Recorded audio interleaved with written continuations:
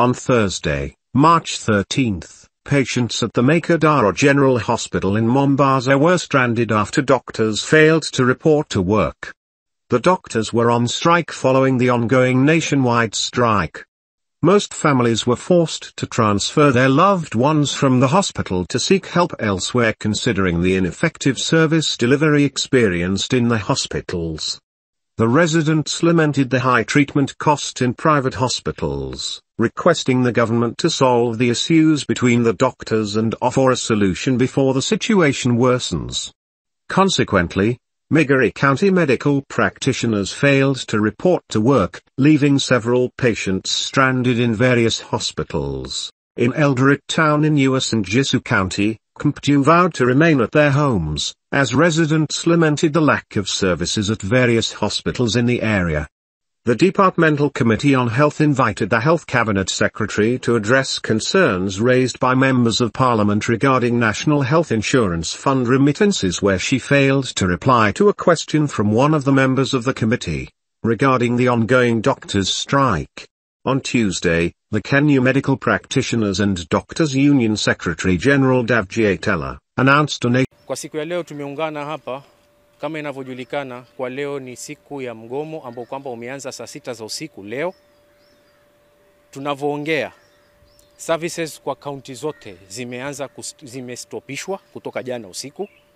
Hakuna services za kawaida zitapeanwa as we speak right now.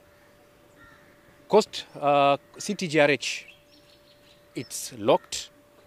Uh, Mombasa County mzima all the county all the public hospitals ziko locked. Kwale ziko locked. Kilifi ziko locked, Lamu ziko locked, Tana River ziko locked, and Taita Taveta ziko locked. Kwa madhumuni haya yote yetu, kisa na sababu, sikuwa tumeanza tu leo kuamka na kusema tunaenda mgomo. Hii kitu imekuwa kutoka 20, 20, 2022 ishu zilikuwa ni, ni ambayo kwamba ilikuwa imeelezwa na tulikuwa tuna court order ambayo kwamba inasema watu wapewe ridhaa zao kwa upande wa basic salary arrears ambao kwamba tulikuwa kwa upande wa mazungumzo kwa muda wa mwaka mmoja na nusu.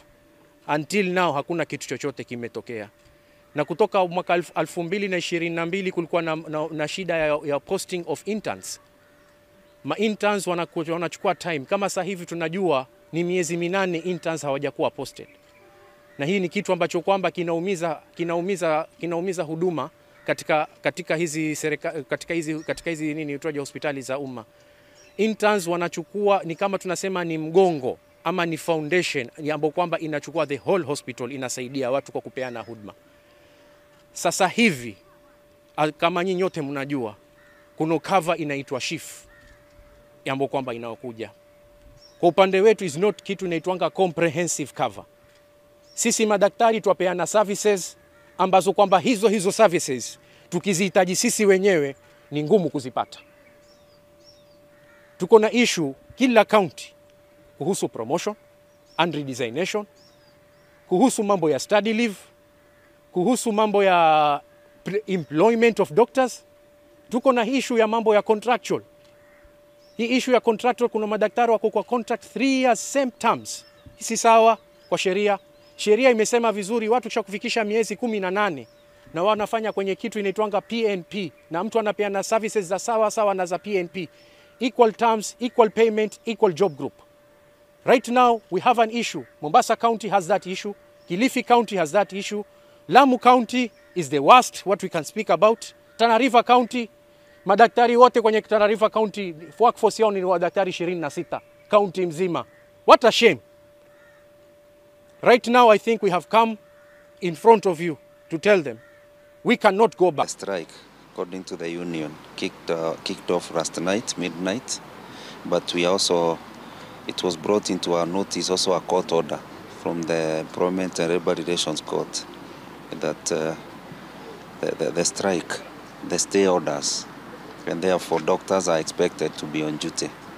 And for that reason, also our clients are informed. And that's why you can look around and see they are still coming and they are still being attended. Our outpatients, even in the wards, our maternity and the wards, our patients are being attended. Services are going on. We are hopeful that the union leadership and the government will engage and come up with a solution so that each party is comfortable for the benefit of all Kenyans who seek health. Ah, Wanachama wetu Kisii kaunti wako takriban 188 na nimepita hospitali yote leo asubuhi, sijaona hata mmoja wako kazini. Ah, tatizo matatizo ni mengi. As, uliweza kuangalia strike notice tulikuwa tumepeana. Tuko na issues na promotions and designations, tuko na issues na arbitral transfers, staffing shortage. Eh, ningependa kusema kwamba sitasema kwamba ni madaktari wote ambao wako kazini. Nimesema kwamba asilimia kama 80 wamekuwa wakikuja kazi. wala ambao wajakuja kazi ni wachache, wala ambao ni washiriki wake sio wote ambao hawajakuwa wakikuja kazi. Kwa hivyo sio ukweli kwamba madaktari wote wamekuwa wamegoma.